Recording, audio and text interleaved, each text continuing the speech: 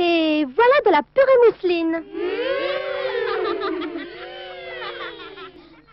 Encore Quand je fais de la purée mousseline, je suis sûre que tout le monde en reprend. Moi je fais un petit volcan Pour mettre du jus dedans. Je vais en manger tellement que je serai grosse comme un géant. Quand je fais de la purée mousseline, je suis sûre que tout le monde en reprend. Purée mousseline, on en reprend.